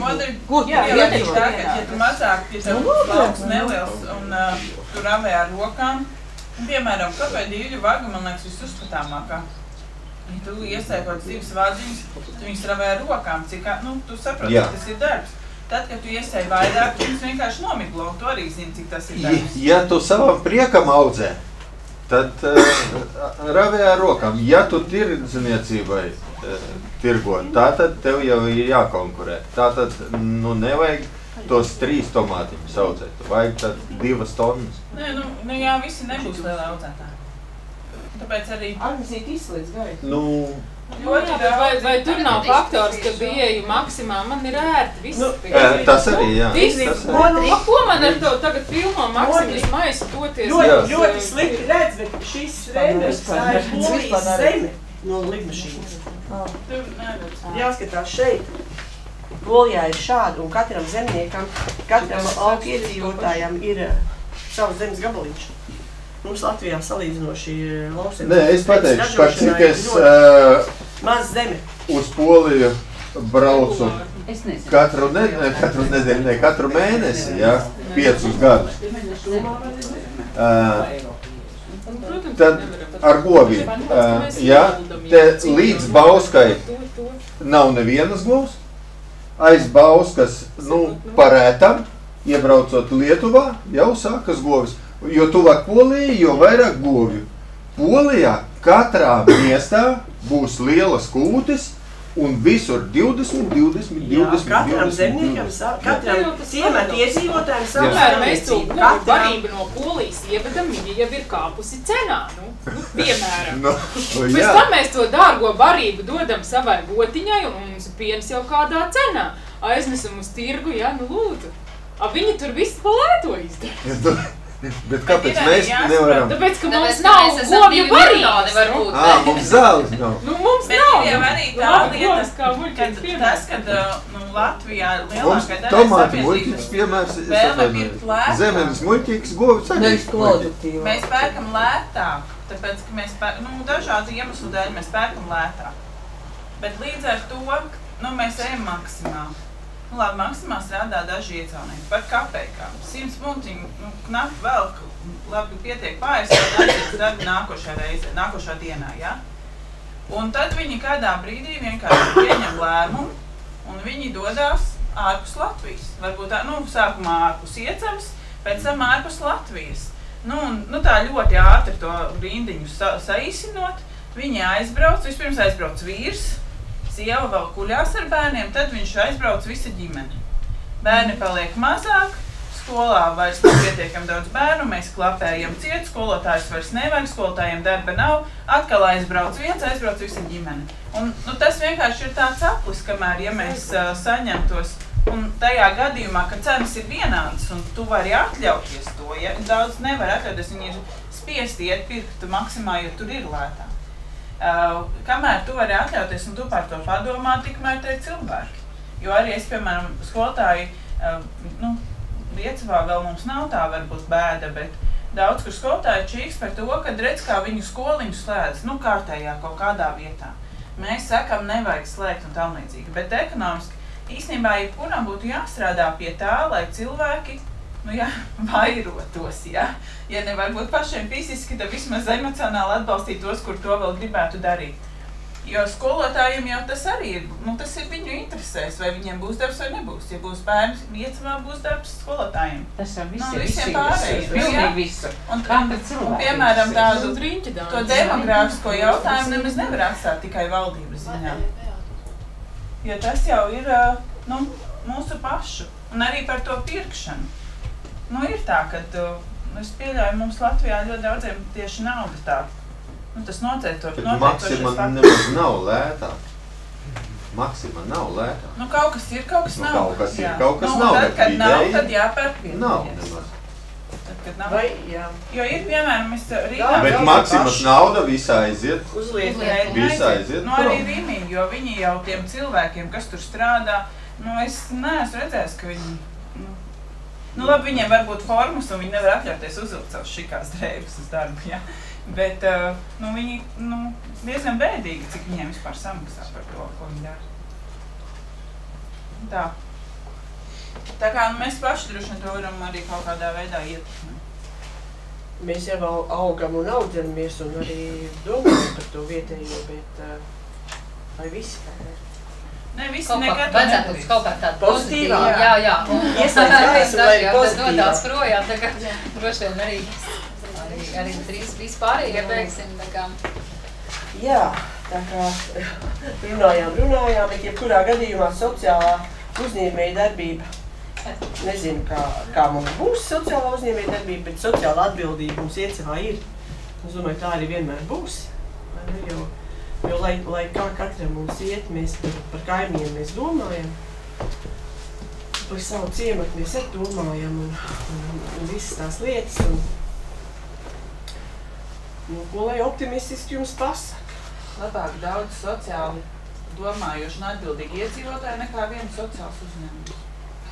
Abi, abi būtu labi. Labi būtu, bet ja jāizvēlās un, un labi, iecevā mums ir tikai sociāli domājuši. Un sociāli atbildīgi mēs esam. Mums uzņēmums kā tāds neviens nav sociāli, sociālais uzņēmums. Iecevā nav. Rīgā ir. Bet es domāju, mums ir gana la- labi arī ar sociāli atbildīgiem cilvēkiem un uzņēmējiem. Un turpinam iesāktos darbus un, un 12. novembrī viss atkal pie mums. Šeit. Uz tām budžeta dienām.